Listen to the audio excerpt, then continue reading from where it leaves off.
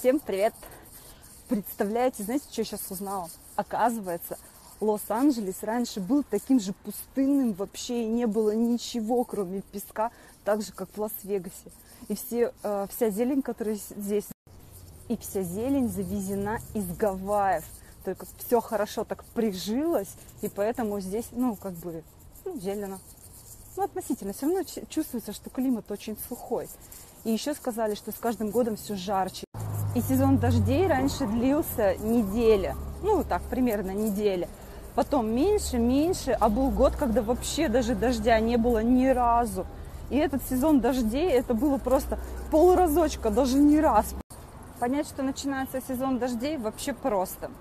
Целыми днями жара стоит, 25-30, ну, 22 там иногда.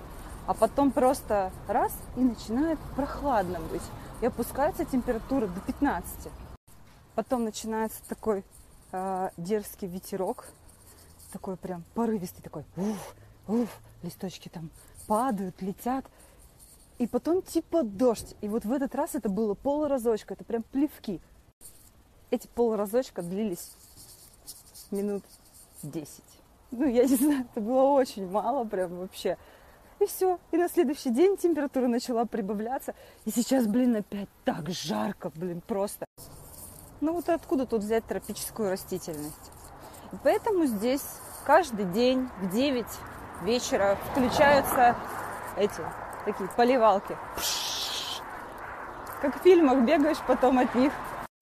А еще познакомилась сегодня утром с одним парнем. Ему 29 лет. И он уже 9 лет живет в Лос-Анджелесе и учится тоже здесь, на невролога. Вот. Я ему спросила, ты хочешь обратно в Россию? Он сказал, что он приехал сюда с родителями, а, и ему все так нравится, и он никуда не собирается, и ни капельки по России не скучает.